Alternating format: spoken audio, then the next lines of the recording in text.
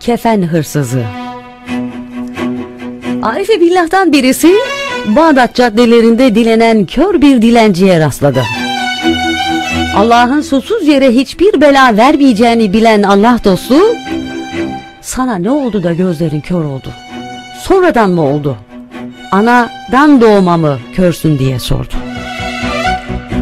Ama sonradan gözlerinin kör olduğunu söyledi ve başından geçen hadiseyi şöyle anlattı. Ben vaktiyle kefen soyardım.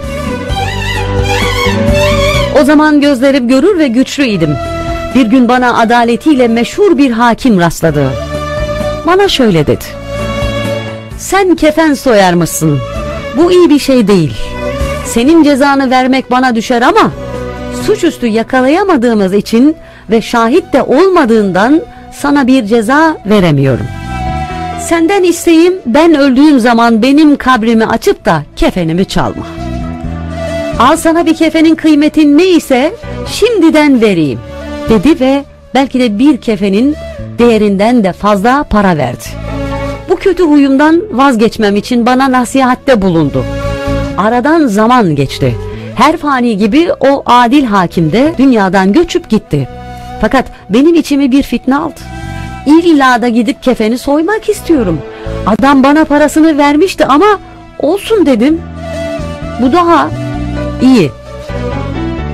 İki kar birden yapmış oluruz. Adam nasıl olsa öldü. Kalkıp da bana bir şey söyleyecek değil ya. Söylese ne yapar bilmiyorum. Hakimin mezarını açtım. Kefeni almak için kabre girdiğimde. Karşıdan öyle iki heybetli melek geldi ki ben şaşkına dönmüştüm. Hiçbir şey yapamadan kabrin içine çömelip kaldım. Ben kefen soymak şurada dursun tir tir titriyordum korkumdan. Gelen melekler hakimin etrafında dolaşıp bir yerinde sakatlık olup olmadığını kontrol ediyorlardı. Her tarafını muayene ettiler. Hiçbir noksanlığı yoktu. Aferin sana. Ne mübarek bir zatmış. Hiçbir isyanı yok diyorlardı. Her tarafını iyice muayene ettikten sonra sağ kulağında bir miktar akıntı göründüler. Acaba bu akıntı neden olmuştur diye birbirine sorunca öbürü şöyle dedi. Birçok adaletli bir hakimdi. Bir davada bir tanıdığı ile başka bir adamın muhakemesi vardı. Hakim her iki cinsini de hakkıyla dinledikten sonra tanıdığı zatı haksız gördü ve adaletle hükmetti. Lakin tanıdığı zat konuşurken ona daha fazla kulak verip onun söylediklerine daha çok dikkat etmişti.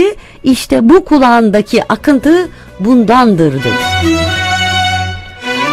Melekler aralarında konuşmaya devam ediyorlardı. Hakimin bu hareketinden dolayı zalim olduğuna hükmettiler ve azap edilmesine karar verdiler.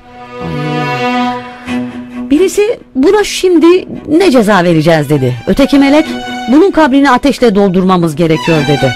Ve orası sanki bir cehennem oldu. Öyle şiddetli bir ateş yığını içinde kaldı ki ateşin şiddetinden gözlerim kör oldu. İşte benim kör olmama sebep budur diye anlattı.